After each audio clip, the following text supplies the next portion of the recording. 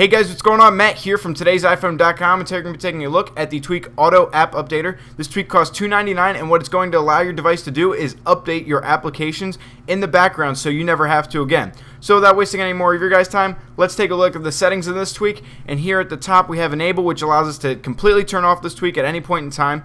Uh, and then we have another option of Update Every. What Update Every is, is the frequency that it's going to be searching to see if there's any updates for your apps. I've set mine to 24 hours. By default it's set to 6.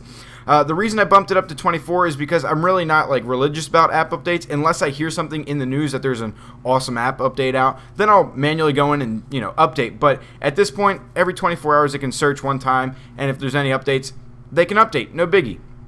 Not worried about it. Then the other feature that I turned on was update on Wi-Fi only. I have a nice uh, data plan, but I don't want to waste it on updating apps, so I have it on Wi-Fi only. So when I get home, it'll update on my Wi-Fi and, and do its own thing. I'm not really worried about it then.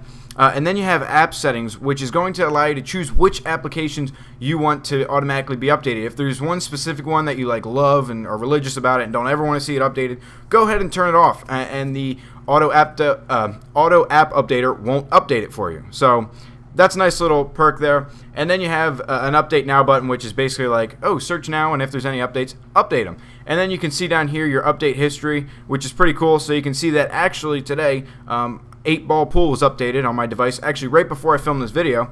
So let me slide down here, and actually you get a little badge notification when it does update something. So Auto App Updater really is a feature that I'm surprised that has not already been put into iOS because it is really convenient to just not have to worry about updating your apps anymore. Um, so that is Auto App Updater. It's $2.99, but I can definitely say it's well worth it um, because I no longer have to update my apps, so I'm really happy about that.